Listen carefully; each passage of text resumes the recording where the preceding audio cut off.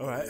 First and foremost, I'm gonna say, praises be to Yahweh Bashim Al Shai Bashim Kakadash. Double honors to the apostles and the elders of Great Millstone and Shalom to the sincere elect, teaching the truth and faith and sincerity through the spirit and power of Yahweh Bashim Al Shai Bashim Kakadash.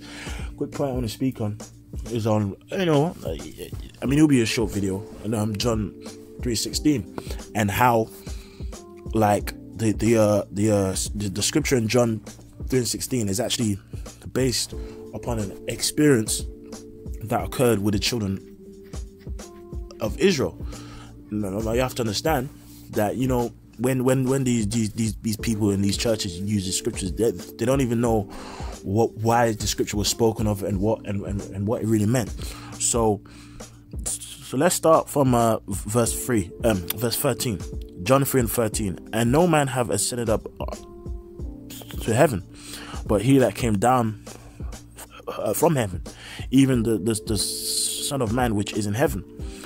Here's the key point, yeah? Now it's establishing why I'm saying this. And as Moses lifted up the serpent in the wilderness, even so must the Son of Man be lifted up. And, and as you can see, it's got a uh, colon, right? Now, let's quickly search up what uh, colon means, yeah? All right. All right. The colon is a, a punctuation mark consisting of two e- equally sized dots and placed one above the other on the same vertical line.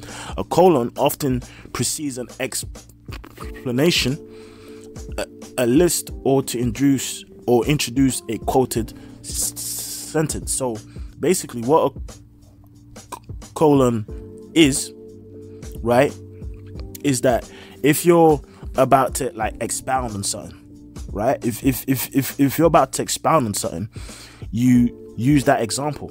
So so, so, so right here proves you're speaking about there's that same thing.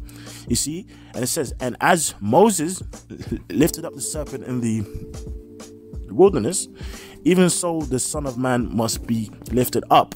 All right.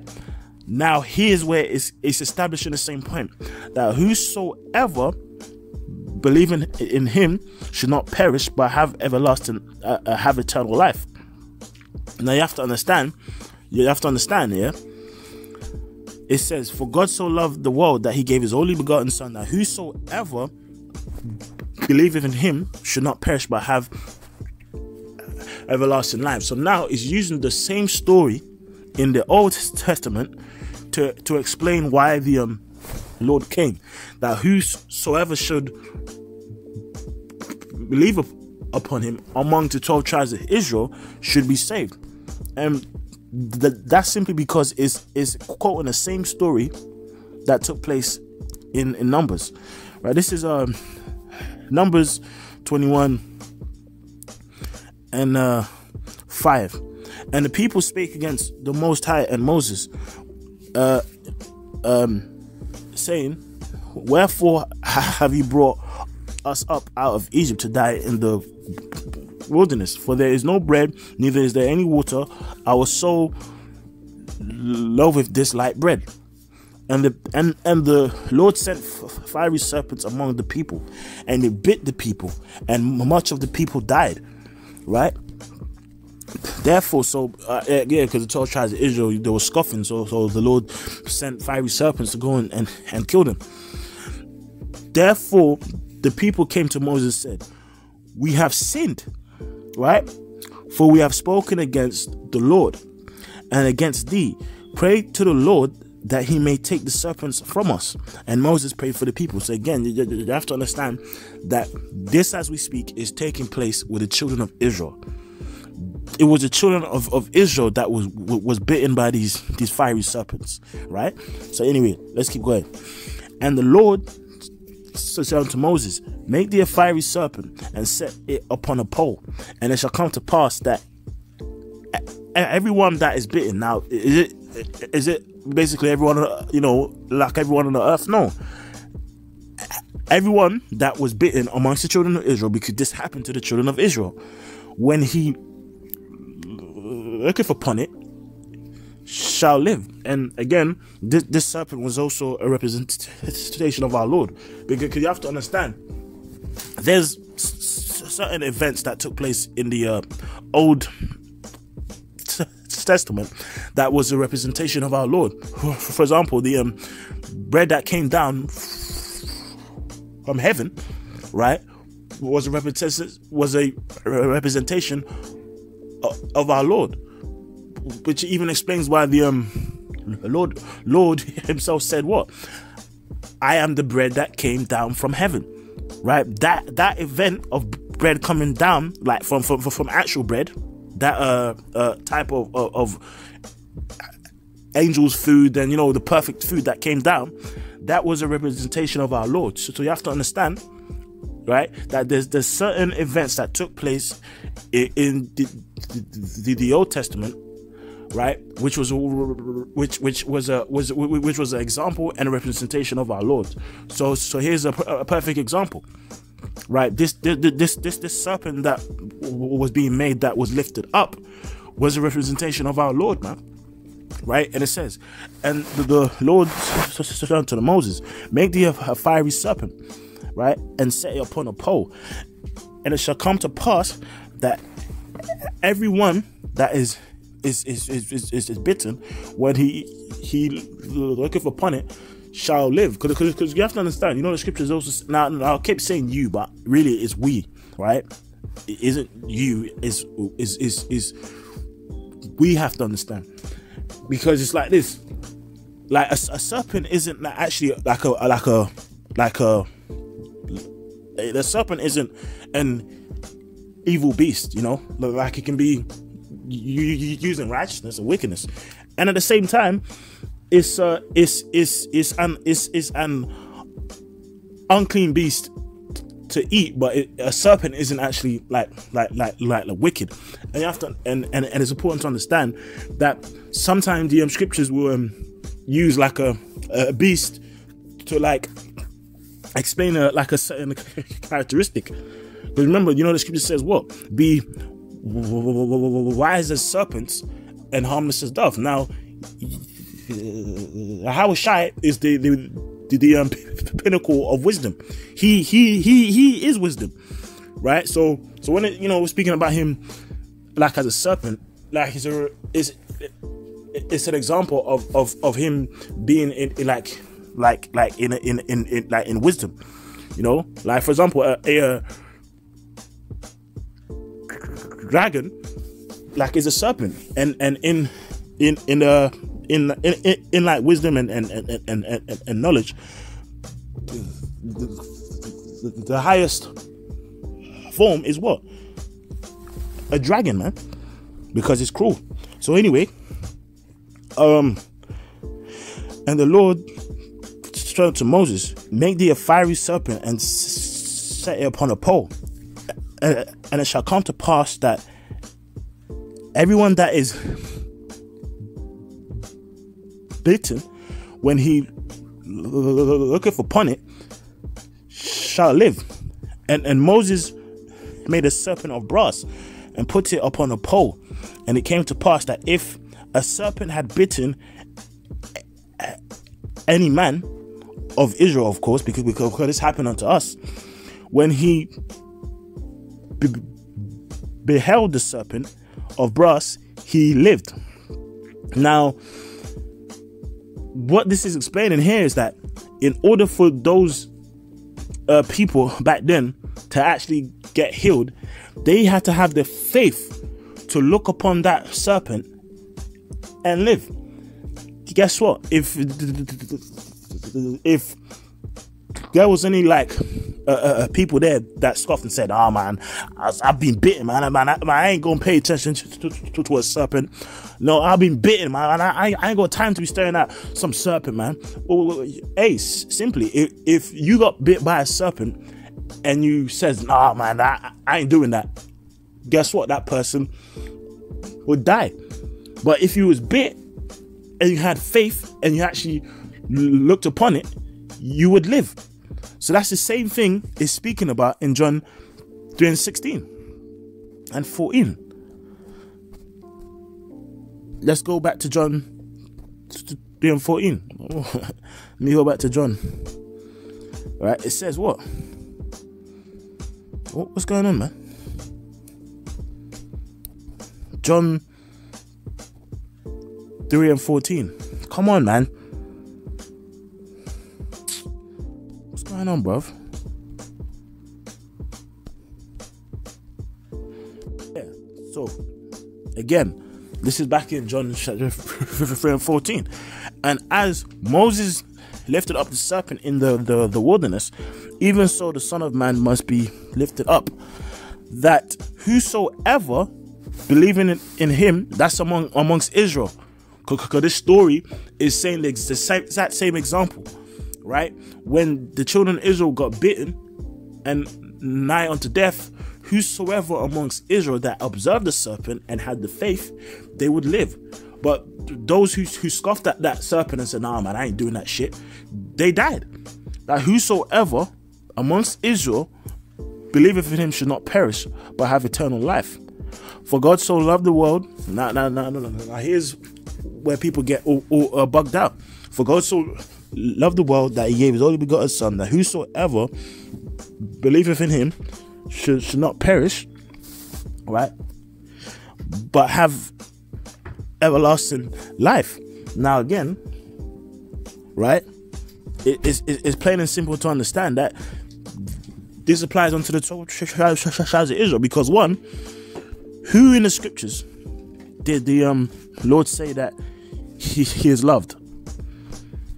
Right? One.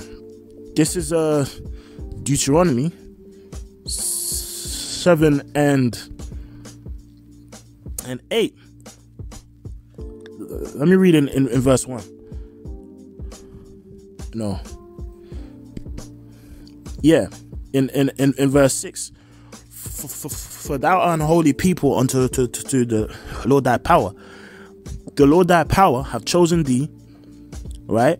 to be a special people unto himself above all people that are upon the face of the earth. The Lord did not set his love upon you, nor choose you, because you were more number than any people, for you were the fewest of all people. But because the Lord loved you, and because he would keep the oath which he has sworn to, unto your father. So, him, in terms of the Lord having care for a people or, or a love for a people, is done because of the oath the promises to, to Abraham, Isaac, and Jacob. So his proof of his love is by us having this covenant, man. Basically, us uh, uh, us having this this law is basically a uh, like a contract, uh, like of his love, man. Which you have sworn unto your fathers. The um, uh, have the Lord brought you out with a mighty hand and redeemed you out of the the the, the uh, redeemed you out of the house of bondmen from the hand of Pharaoh, king of Egypt. And and on top of that, if he had loved this whole world, explain this. This is um Romans 9 and 13. As it is written, Jacob have I loved, but Esau have I hated. So so if he had loved this whole world that he sent his only son, then how comes Paul, a, a man who was taught by his son, say, as it is written, Jacob have I loved, but Esau have I hated. It's because that word for world in John chapter 3 and 16 applies to a specific congregation of people. This is John chapter 3 and 16. For God so uh, loved the, the uh, world, but if you go into the word there for world, right, it's cosmos, right? An apt harmonious arrangement of constitution and order government. Now you have to understand a uh, government is a specific congregation of people, right? So so when you say uh, uh, um, love the um, world, it's a specific congregation of people, man you have to understand there's the the uh, sports world the entertainment world the uh, science world it's specific groups of people in specific types of world, man. Because in the Greek, there's three uh, types of the um, word world. You have uh, cosmos, a specific congregation of people, eon, an age, and oikoumene, which means the whole uh, inhabited earth, man. For God so loved the world that he gave his only begotten Son, that whosoever believeth him should not perish but, have uh, uh, everlasting life. Now, if if it's saying any people can have uh, faith, you know, and and and have everlasting life, why does the scripture say in a um, Obadiah that the uh, children of Esau would totally be cut off, man. You know what I mean? If he's loved this whole world, why does the scripture say he that leadeth into captivity shall go into captivity? Well, in fact, if he had loved this whole world, then explain this. Revelation 2 and 25. Right? It says, But that which ye have already hold fast till I come. And it's these scriptures is in red because these were the the um Lord's words, man. But that which ye have already hold fast till I come. But and he that overcometh and keepeth my words unto the end, will I give power over the nations. And he shall rule them with a rod of iron, as the vessels of a potter, they shall be broken to shivers, even as I receive my father. So if he loved this whole world, well, why does the scripture say that? when he comes back, these these people gonna be smashed in pieces, man, in slavery. It don't make no sense.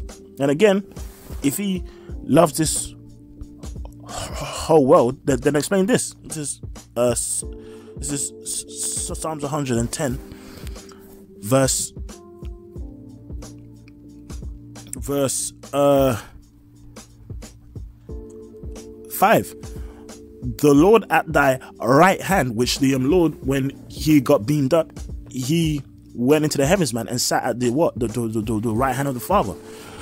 The Lord at thy right hand shall strike through kings in the day of his wrath. He shall judge among the, the, the what? He shall judge among the heathen, right? He shall fill the places with the what? The dead bodies he shall wound the heads over many countries. So if the Lord had loved, you know, sent his only begotten son that whosoever, you know I mean? Then explain why it says that the, the Lord himself, that, that when he shall judge all these heathen, that he shall fill this earth with what? Dead bodies. That's right there in the scriptures, man, in Psalms 110. Because you have to understand that word, whosoever, right, doesn't always have to apply to to, to everybody, and I prove it to you here. Uh, Deuteronomy chapter 18, I believe. Deuteronomy 18.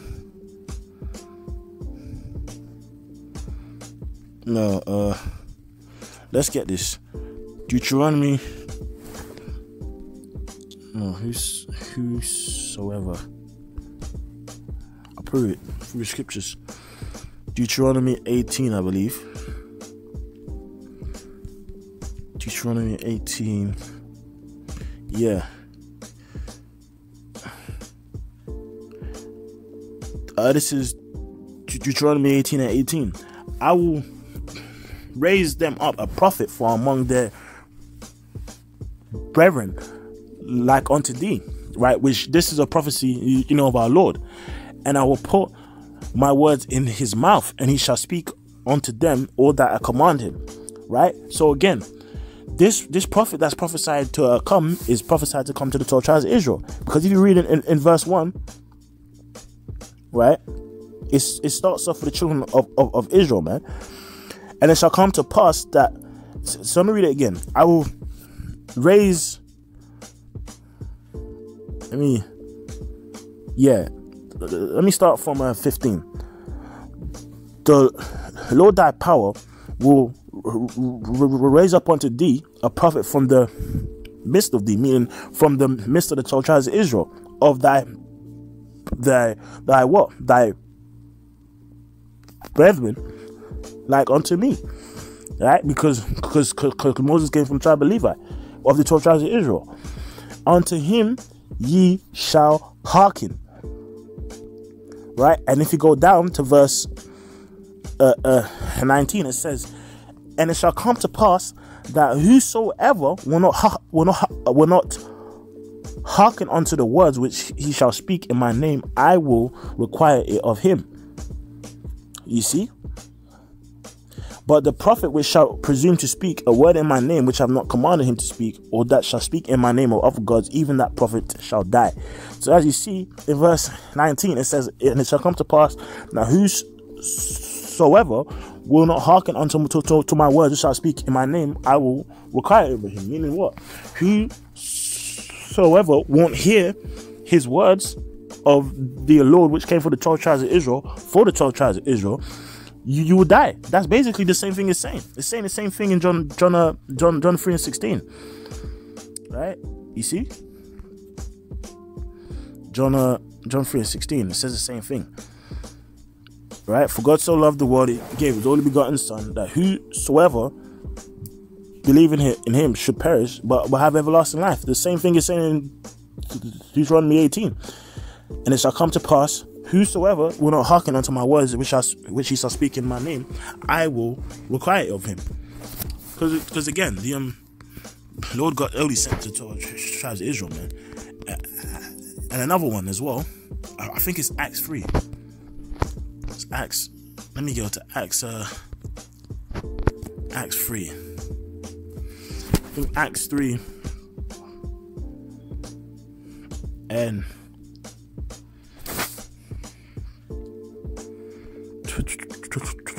22.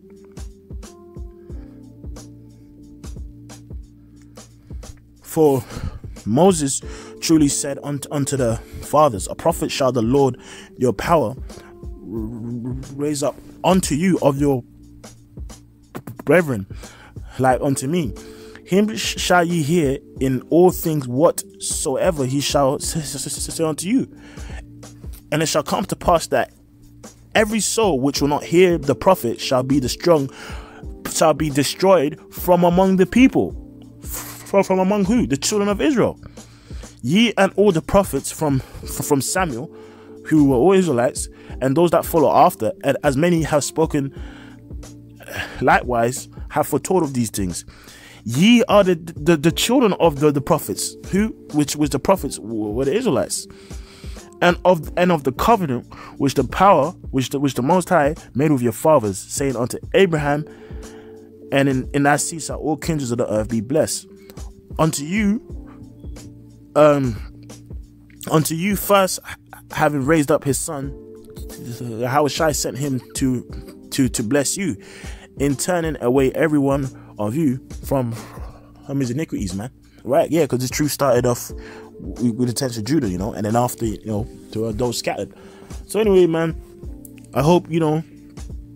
Basically, Akim, you know, um, you, uh, I've been edified, man. So until next time, I'm say, praise be to Allah, Shema Shabbat, Shema Kakadash, bonus, puzzle, and all those great most. Until next time, we'll say, Shalom.